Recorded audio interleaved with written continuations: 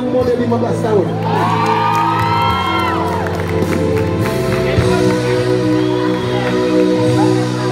Tuhan sengaja menjaga kita di mana kesabaran manusia.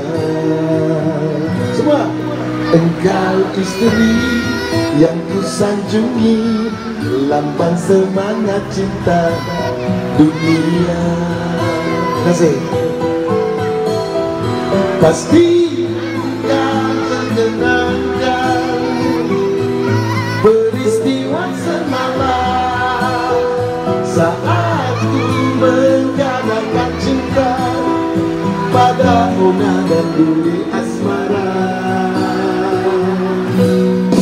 Entah di mana akal pikiran Gak sesat di jalan yang terang Ini suratan yang diberikan Menguji kekuatan jiwa.